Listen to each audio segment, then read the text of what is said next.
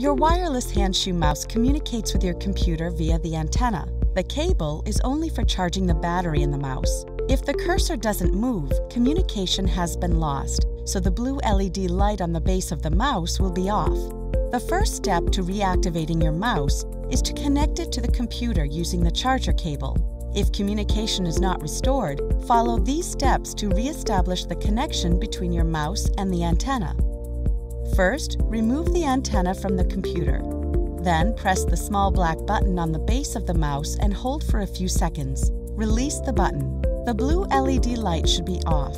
Replace the antenna in the computer and press the button on the mouse again. Hold for a few seconds, then release. Press again and release again. You will have pressed the button twice. The blue LED light on the base of the mouse should come on and communication between the mouse and antenna is re-established. Click any mouse button and start working.